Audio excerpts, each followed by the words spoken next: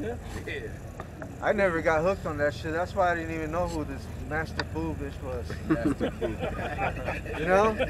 I didn't like 3 6 Mafia like that. I didn't like them You know? either. They had some, they They had had some, some some shit. shit though. Shit. Like they had some dope little beats. Yeah, But a lot of that shit was, got but a lot of that shit was Demonic, demonic. That's bro. what, that's what had you Yeah. pumping that shit. Yeah. Yeah. Hey, but the, you know, in the system, when that shit used to pound, you'd be like, damn, because you Yeah. had demons on you. Yeah. So when you come into the knowledge of the truth, you got to clean all that up. And that vibration just didn't feel good or sound good Yeah, to you no man. more. I didn't even I didn't even really think about it, and you know, until I came to the truth, like three six.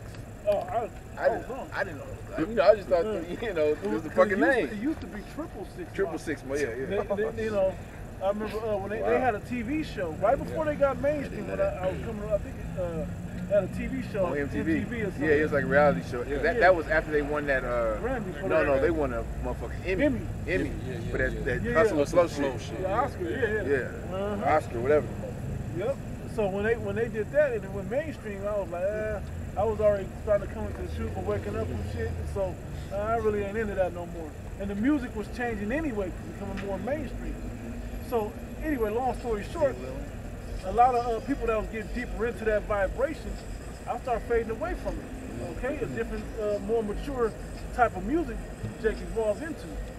But but a lot of the younger people was getting heavier and heavier into that. And now other groups was experimenting into those types of vibrations, Yeah. sounds, and uh, uh, frequencies even. Okay, because I'm telling you, Like a lot Man, of that shit, like a lot yeah. of Gucci Mane, and a lot of Rick Ross, some of their beats kind of had The, that. the melody. fucking trap music Yeah, came out yeah. around that time too.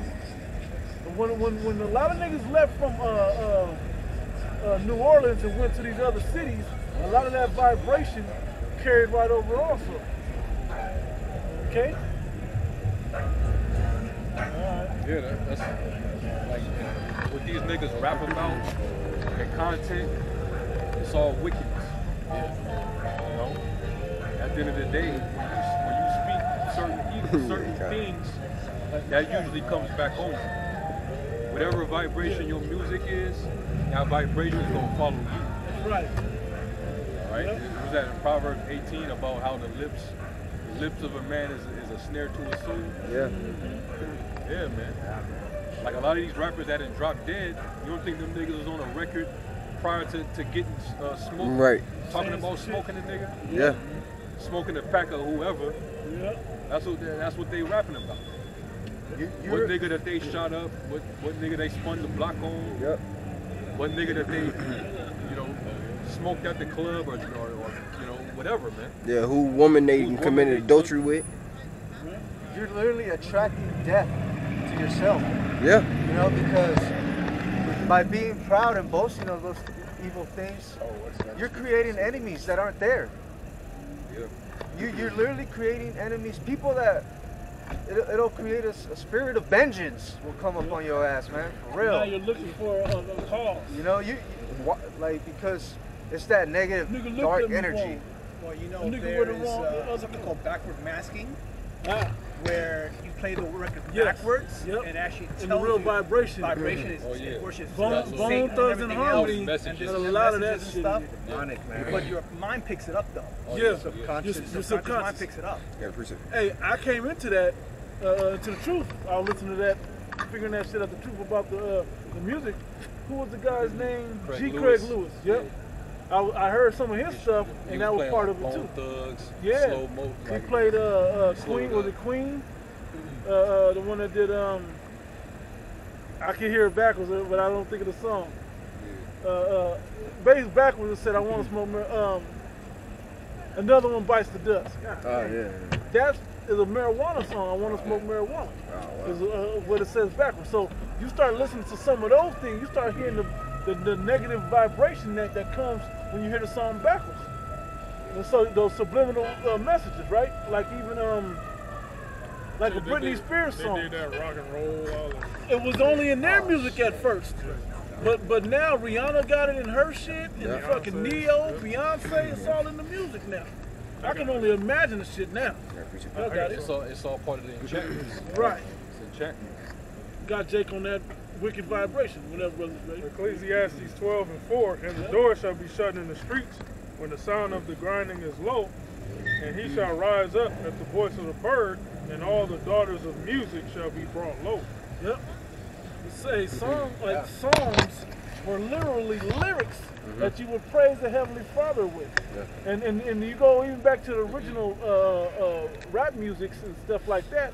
It were messages and songs that, that we had to hide from the slave master to, to privately keep our customs and, and, uh, and, and- and praise our God. Now what are we doing? We're, we're still doing the same thing, but our God has changed into the fucking devil. Giving homage to Satan. Pretty Yeah. much. Yeah. Low vibration. Yeah, Whole appreciate that. vibration is satanic now. That's why the, the Heavenly Father's gonna have to turn off that that radio. He's gonna have to turn off the They music. gonna lose their fucking You know? mind, bro. That shit gotta go. Yeah. God, this is uh, Job 4, number, I'm, uh, I'm 8. It says, Even as I have seen, they that plow iniquity and sow wickedness reap the same. That's the point. Put, put one precept after uh, on top of that. Proverbs 18 and uh, starting at 20, it says, A man's belly shall be satisfied with the fruit of his mouth, and with the increase of his lips shall he be filled. Death and life are in the power of the tongue, Shit. and they that love it shall eat the fruit thereof. Yeah. Yeah, man. You you putting out that vibration. You you speaking it into life. Other Jake listen it, listen to it, and it puts a demon on them to want to go and kill, and commit murder. Appreciate it. That shit's gonna come back to you. I don't know if anybody it's like bro. Anybody remembers what uh, Vanessa Williams, the, the, the actress slash singer, you know, the singer one though, right? She dissed Pac after, right after he died. She dissed him. I thought it was a diss, but it was a diss to Hell yeah, him, right? was talking about it. Well, know what she said? She said, well, you know, Tupac just died. He got shot nine, whatever, how many times in Vegas, and he just died, right? She said, well, you reap what you sow. Well, I was like, what, bitch? Thinking about it, no, this nigga brought all kind of violence Yeah. in his music Yeah, man. to the to the forefront on Jake's He was the main nigga talking about uh, his own death. Yeah. Yeah. You know, a sign his that own nigga was begging for, for, to, to yeah, to, to something to happen. All them niggas. Yeah, yeah. Biggie started doing the same shit. Life after, you know, ready to die and all that. Yeah, Then them niggas suicidal both end up dead. Yeah. You know? Appreciate it too. Yeah, this James 3 and uh, 4. It's like a James 3 and 5. Even so, the tongue is a little member and boasteth great things. Behold, how great a matter a little fire kindleth. Yep, the tongue. Yep. The shit you say, man. Like, uh, uh let's say, uh, how, how did that, that elementary saying go? Sticks and and stones. may break my bones, but words will never hurt me. Shit. Words hurt way worse. You'll heal from, there's Yeah. people that won't heal from, from words. Yeah, from what's been said. You know, but you'll heal from sticks and stones. Hey, and the opposite. Uh, uh, words actually have healed us. Yeah. Right. The words of Yahweh Shemel Shah have healed us. That's how powerful words are. The same book that people read and can pervert it and it takes them down a darker path, it has woken up the elect and healed the, the elect. So it's a little bit. Oh, yeah. yes. Uh, one more uh, verse. It reads, "And the tongue is a fire, a world of iniquity. So is the tongue among our members, that it defileth the whole body, and setteth on fire the course of nature, and it is set on fire of hell."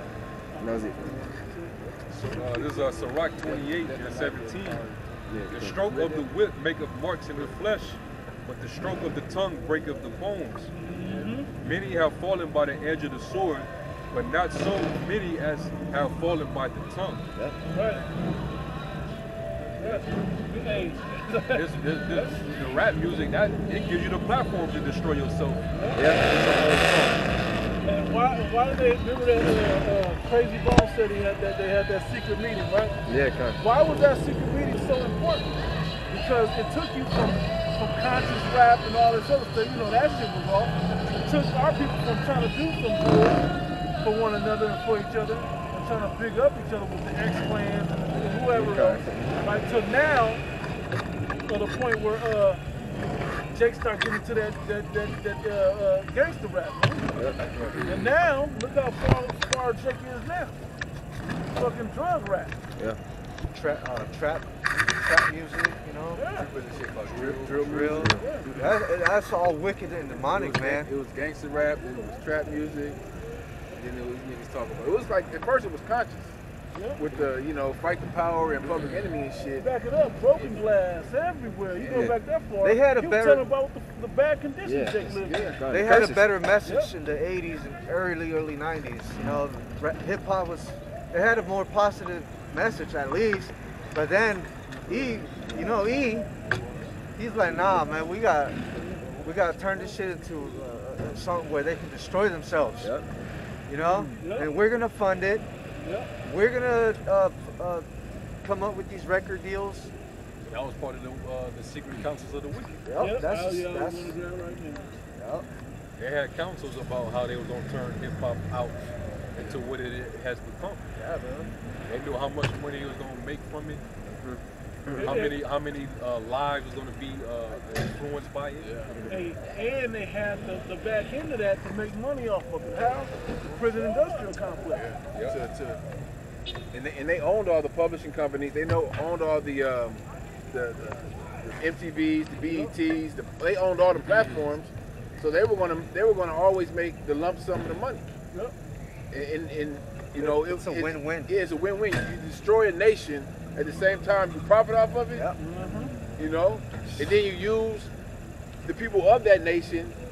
You buy them out that, that can see what's going on, and then you know you, you got you got you, you got both sides. Where you got a spokesman for you that you know Take that shit to the house. Well, yeah, Esau knew exactly what they was doing with this whole rap, rap music shit, man. But, but, It, it just basically destroy our people.